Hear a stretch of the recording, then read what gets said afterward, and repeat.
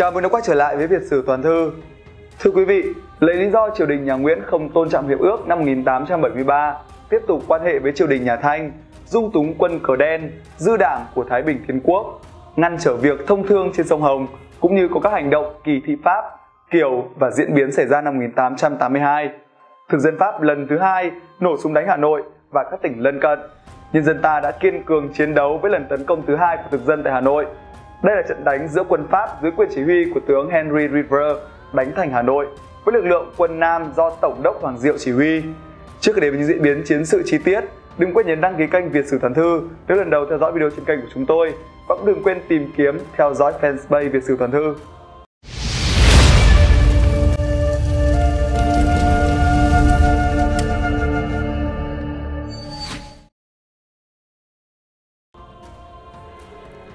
Vài nét chính về Tổng đốc Hoàng Diệu Hoàng Diệu tên thật là Hoàng Kim Tích, tự quan viễn, hiệu tỉnh trai. Ông sinh ngày 10 tháng 2 năm kỷ sửu năm 1829 trong một gia đình có truyền thống nhà học tại làng Xuân Đài, huyện Điện Bàn, tỉnh Quảng Nam.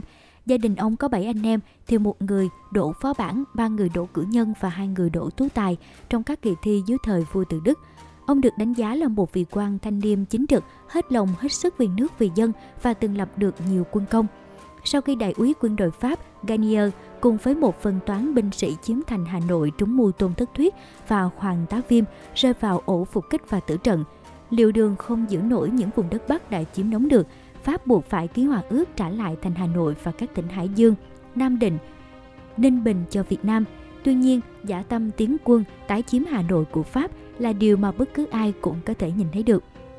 Trước giả tâm của Pháp, việc trấn giữ thành Hà Nội trở thành nhiệm vụ cấp bách, khó khăn và nguy hiểm. Nhiệm vụ ấy được vua từ Đức giao phó cho Hoàng Diệu. Được phong làm Tổng đốc Hà Ninh vừa ra đến Hà Nội, Hoàng Diệu đã bắt tay ngay vào việc xây dựng, sửa chữa và củng cố thành lũy, huấn luyện binh sĩ sẵn sàng nghênh địch. Nhận thấy lực lượng trấn binh mỏng khí thô, Hoàng Diệu nhiều lần dân sớ xin triều đình tri viện. Nhưng khi ấy Pháp đã chiếm ngọn Nam Bộ, triều đình ở Huế hoảng loạn, nội tình mâu thuẫn rối ren, phe chủ bại lấn lướt phe chủ chiến. Bởi vậy, sở dân của Hoàng Diệu không được hồi âm. Bối cảnh hai bên trước trận chiến về phía Việt Nam, năm 1873 sau khi chiếm được Nam Bộ, Pháp chuẩn bị tiến ra Bắc Bộ, vua từ Đức giao phó cho Hoàng Diệu làm tổng đốc Hà Ninh năm 1880. Ngay khi tới Hà Nội, Hoàng Diệu đã chú tâm tới việc xây dựng thành lũy, chuẩn bị lực lượng để chống Pháp. Từ năm 1880 đến năm 1882, ông đã hai ba lần dân sớ xin triều đình chi viện để củng cố phòng tuyến chống giặc tại Hà Nội, nhưng không nhận được hồi âm từ Huế. Lúc này chủ trương của triều đình từ Đức vẫn là dùng thương thuyết để ngăn ngừa chiến tranh một cách thụ động. Triều đình Huế còn bác bỏ đề nghị đem quân thường du về bảo vệ Hà Nội và Trung Châu của Hoàng Kế Viêm, thống đốc quân vụ Tây Bắc. Đầu năm 1882, lấy cớ Việt Nam không tôn trọng hiệp ước năm 1873 mà lại đi giao thiệp với Trung Hoa, chung túng quân cờ đen, một nhánh quân của Thái Bình Thiên Quốc, ngăn trở việc giao thông trên sông Hồng của người Pháp. Đại tá Henry River của Hải quân Pháp cho tàu chiến cùng hơn 400 quân đóng trại tại Đồng Thủy, khu nhận địa của Pháp từ năm 1873 trên bờ nam sông Hồng, cách thành Hà Nội 5 km tại vị trí bệnh viện Việt Xuân ngày nay. Nhằm uy hiếp Hà Nội, Hoàng Diệu đã hạ lệnh giới nghiêm tại Hà Nội và bố cáo các tỉnh xung quanh sẵn sàng tác chiến, đồng thời yêu cầu phiền binh từ triều đình Huế. Tuy nhiên, Phu Tử Đức đã hạ chiếu quở trách Hoàng Diệu đã đem binh dọa giặc và chế ngự sai đường. Nhưng Hoàng Diệu đã quyết tâm sống chết với thành Hà Nội. Ông cùng với tuần phủ Hoàng Hữu Xung, đề đốc Lê Văn Trinh, bố chính Phan Văn Tuyển, án sát Tôn Thức Bá và lãnh binh Lê Trực uống rượu, hòa máu, tỏ quyết tâm sống chết với Hà Thành lực lượng phòng thủ tại Hà Nội theo bá thước. Đề cơ Karadet, lãnh sự đầu tiên của Pháp tại Hà Nội từ năm 187. Hai trung đội thu thuế thương chính 108. Pháo binh giữ tường thành 151 hai trung đội. Số lính phụ binh 1574 gồm một tiểu đoàn lính vệ tình nguyện 442 cộng với lính giám thành là 500 và lính chạy trạm là 632. Thành Hà Nội được xây dựng theo hình mẫu châu Âu từ thế kỷ trước, bản vẽ do các sĩ quan Pháp tường phục vụ, vua Gia Long thực hiện. Mỗi cạnh tường thành dài ít nhất là 1.200 mét, đắp bằng đất, bên ngoài phủ một lớp gạch lớn rất chắc. Trên mặt thành có 49 khẩu đại bác nhưng tất cả đều bị trị xét và chắc là không phát pháo được.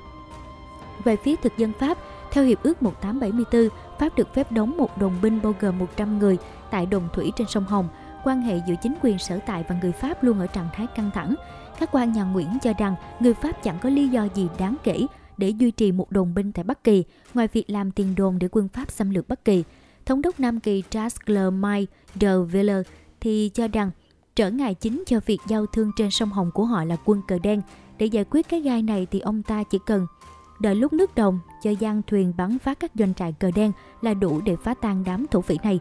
Việc khó khăn nhất chỉ là chọn cho được một viên chỉ huy chính chắn, chứ không phải là một người bốc đồng, luôn tư tưởng đến chiến công, thành lập một đế quốc phương Đông như Garnier, và người được chọn ấy là Henry River.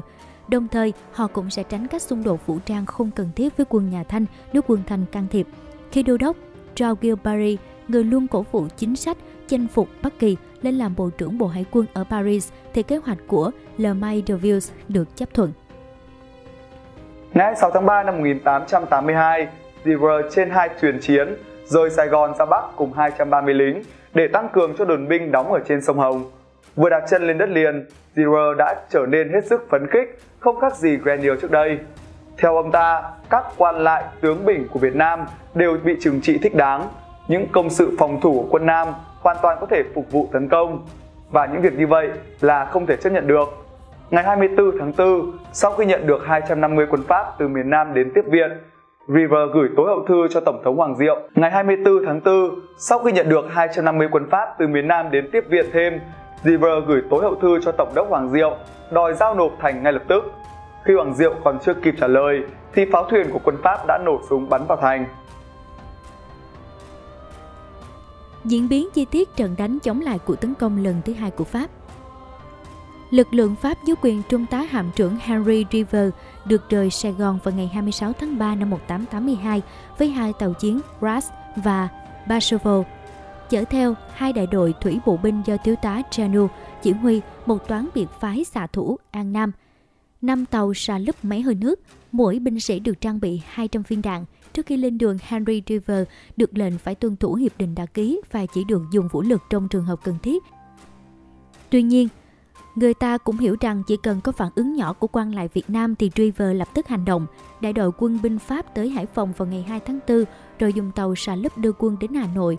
Ngày 3 tháng 4 năm 1882, rồi đóng quân ở Đồng thủy hiện đang có hai đại đội thủy bộ binh đóng giữ dưới sự chỉ huy của tiểu đoàn trưởng Bader de Villers Tổng số quân Pháp đóng ở ngoài thành Hà Nội lúc này là 600 bộ binh, bao gồm 450 lính thủy quân lục chiến, 130 lính thủy và 20 lính bản xứ. Được tin quân Pháp động binh, quan binh Bắc Kỳ lo phòng bị, chống giữ. Henry Diver không được Tổng đốc Hà Nội Hoàng Diệu tiếp đón long trọng, có ý không hài lòng và gợi sự ra bằng cách cho rằng các việc sửa soạn phòng bị của quan binh triều đình ở Bắc Kỳ là có tính cách thù địch và khiêu khích. Ngày 8 tháng 3 âm lịch năm nhâm ngọ tức là ngày 25 tháng 4 năm 1882 vào lúc 5 giờ sáng, River đã gửi tối hội thư đến Tổng đốc Hoàng Diệu hàng đến 8 giờ sáng thì trong thành phải giải giáp và các quan lại phải đến trình diện tại Đồng Thủy nếu không thì River sẽ chiếm thành. Trước đó triều đình Huế đã phái ngay Tả Tỳ Lan Bộ Hồ Nguyễn Thành Ý vào Sài Gòn biện bạch về những lý do khiến cho người Pháp phải động binh, đồng thời cũng gửi khẩn thư lệnh cho quan binh Bắc Kỳ phải giữ nguyên trạng thành Hà Nội như đã có trước khi các đội quân của River kéo đến, nhưng mà khẩn thư này tới quá trễ. Quân quan nhà Nguyễn trong thành Hà Nội tổ chức chống cự đơn độc mà không có sự chi viện kịp thời của các cánh quân từ Sơn Tây, Hoàng Kế Viêm, Lưu Vĩnh Phúc và Bắc Ninh, Trương Quang Đảng. Mặc dù cánh quân của Hoàng Kế Viêm và Lưu Vĩnh Phúc đóng ở Phủ Hoài, dịch vọng từ Liêm cách Hà Nội không xa. Đúng 8 giờ 15 phút các pháo thuyền của Fanfare, Surprise, Merzour và Cabin từ bờ sông Hồng bắn đại bác vào thành. Tới 10 giờ 45 phút, quân Pháp đổ bộ tấn công vào thành. Vào lúc 11 giờ thì quân Pháp chiếm được thành. Thiếu tá Beresville và ba binh sĩ Pháp bị thương trong thành Hà Nội Hoàng Diệu cùng lãnh binh Hồ Văn Phong chỉ huy phòng thủ cửa Bắc. Đề đốc Lê Văn Trinh giữ cửa Đông. Lãnh binh Lê Trực giữ cửa Tây và lãnh binh Nguyễn Đình Đường giữ cửa Nam. Phía quân triều đình có 40 tử trận và chỉ có 20 bị thương. Vì đa số các binh lính đều bỏ thành chạy trốn. Ở cửa Đông và cửa Nam, Lê Văn Trinh và Nguyễn Đình Đường sợ hãi bỏ trốn. Tổng đốc Hoàng Diệu cố gắng cầm cự nhưng quân Pháp đã tràn vào thành, đành treo cổ tự vận dưới một cái cây trước võ miếu. Võ miếu sau khi phá hủy cùng với thành Hà Nội nằm tại cốc Tây Nam thành ở vị trí đầu phố Chu Văn An trước mặt trụ sở ở Bộ Ngoại giao ngày nay. Di biểu ông viết có đoạn Thành mất sao không cứu được thật khổ với nhân sĩ đất Bắc Hà lúc sinh thời. Thân chết có quản gì, nguyện theo Nguyễn Tri Phương dưới đất, quân vương muôn dặm huyết lệ đôi hàng. Quân Pháp vào thành tịch thu tiền bạc phá hủy hết súng đạn, sau đó chúng cho gọi Tôn Thất Bá về giao lại thành. Nhưng Rivière lại đóng quân ngay trong hành cung, treo cờ Pháp thay cho cờ nhà Nguyễn ngay từ ngày 27 tháng 4 năm 1882. Triều đình Huế vội vàng cầu cứu quân Thanh và cử người ra Hà Nội thương thuyết với Pháp, đồng thời ra lệnh cho quân ta phải rút lên mạng ngược. Thừa dịp, quân Thanh ồ ạt kéo sang nước ta, đóng ở nhiều nơi, trong khi đó quân Pháp nhanh chóng tỏa đi chiếm Hòn Gai, Nam Định và các tỉnh khác thuộc đồng bằng Bắc Kỳ. Nhân dân Bắc Kỳ tiếp tục kháng chiến, khi quân Pháp tiến đánh Bắc Kỳ lần thứ hai, nhân dân đã tích cực phối hợp với quan quân triều đình kháng chiến. Ở Hà Nội, khi quân Pháp nổ súng đánh thành, nhân dân tự tay đốt nhà tạo thành bức tường lửa chặn giặc. Hàng nghìn người dân tụ tập thành đội ngũ, gươm giáo chỉnh tề. Tại đình Quảng Văn Cửa Nam chuẩn bị kéo vào thành đánh giặc. Nhưng chưa kịp đi thì thành đã mất. Cuộc chiến đấu trong lòng địch diễn ra sau đó vô cùng quả cảm. Nhân dân Hà Nội không bán lương thực cho Pháp, phối hợp với đồng bào các vùng xung quanh, đào hào đắp lũy, lập ra các đội dân dũng. Bất chấp lệnh giải tán của triều đình, tại các địa phương nhân dân tích cực đắp đập, cấp kè trên sông, làm hầm chông cạm bẫy vân vân chống Pháp. Khi Rivière đánh Nam Định, quân dân ta từ Sơn Tây và Bắc Ninh kéo về áp sát thành Hà Nội uy hiếp địch. Rivière hoảng sợ khi trở về Hà Nội đối phó. Ngày 19 tháng 5 năm 1883, hơn 500 tinh địch kéo ra cầu giấy, đã lọt vào trận địa mai phục của ta. Quân cờ đen lại phối hợp với quân của Hoàng tá Phim đổ ra đánh. Nhiều sĩ quan và lính Pháp bị giết, trong đó có Rivière. Chiến thắng cầu giấy lần thứ hai càng làm cho quân Pháp thêm hoang mang dao động. Chúng đã toan bỏ chạy nhưng triều đình Huế lại chủ trương thương lượng với Pháp, hy vọng địch sẽ rút quân như năm 1873. Song tình hình lúc này thì đã khác lúc trước, sau khi có thêm viện binh cuối tháng 7 năm 1883, nhưng cơ hội vua tự Đức mới qua đời, nội bộ triều đình đang lục đục, chủ nghĩa tư bản Pháp đang trên đà phát triển, thực dân Pháp quyết định đem quân tấn công thẳng vào Thuận An, cửa ngõ kinh thành Huế. Hiệp ước Paternos, nhà nước phong kiến Việt Nam sụp đổ năm 1884. Từ chiều ngày 18 tháng 8 năm 1883, hạm đội Pháp bắt đầu bắn phá dữ dội các pháo đài ở cửa Thuận An. Đến ngày 20 tháng 8, chúng đổ bộ lên khu vực này. Triều đình hoảng hốt xin đình chiến.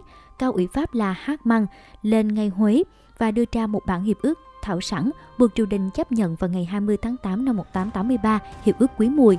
Nội dung bản hiệp ước còn gọi là hiệp ước Hát Măng có những khoản chính như sau. Triều đình Huế chính thức thừa nhận nền bảo hộ của Pháp ở Bắc Kỳ và Trung Kỳ. Các tỉnh Bình Thuận ra khỏi Trung Kỳ để nhập vào đất Nam Kỳ thuộc Pháp. Ba tỉnh Thanh Nghệ tỉnh được sáp nhập vào Bắc Kỳ.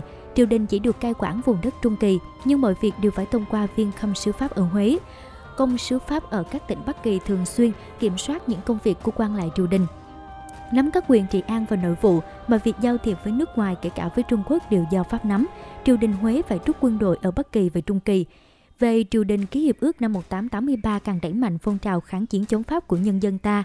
Nhiều sĩ vu văn thân là quan lại triều đình ở các địa phương như là Nguyễn Thiện Thuật, Tạ Hiện, Hoàng Văn Hòe, Lã Xuân Oai, Nguyễn Quang Bích đã phản đối lệnh bảy binh. Đây chính là cơ sở để phái kháng chiến trong triều đình Huế do Tôn Thất Thuyết cầm đầu mạnh tay hành động. Do chiến sự tiếp tục kéo dài ở Bắc Kỳ, thực dân Pháp buộc phải tổ chức những cuộc tấn công nhằm tiêu diệt các trung tâm đề kháng còn sót lại. Từ cuối năm 1883 đến giữa năm 1885, chúng cho quân chiếm Bắc Ninh, Thái Nguyên, Hương Hóa, Tuyên Quang. Quân Thanh đóng giữ các vị trí này, chỉ chống cự lấy lệ trợ rút. Cuối cùng, Pháp Thanh đã đi đến thỏa thuận với nhau bằng Quy ước Thiên Tân ngày 11 tháng 5 năm 1884. Theo đó, nhà Thanh cam kết rút hết quân đội khỏi Bắc Kỳ. Sau khi làm chủ tình thế, chính phủ Pháp lại bắt triều đình Huế ký bản hiệp ước mới vào ngày 6 tháng 6 năm 1884, hiệp ước Paternos có nội dung cơ bản giống hiệp ước Hách Măng, chỉ sửa đổi đôi chút về ranh giới khu vực Trung Kỳ nhằm xoa dịu dư luận và lấy lòng vua quan phong kiến bù nhìn. Hiệp ước Paternos đã chấm dứt sự tồn tại của triều đại phong kiến nhà Nguyễn với tư cách là một quốc gia độc lập. Thay vào đó là chế độ thuộc địa nửa phong kiến kéo dài đến cách mạng tháng 8 năm 1945.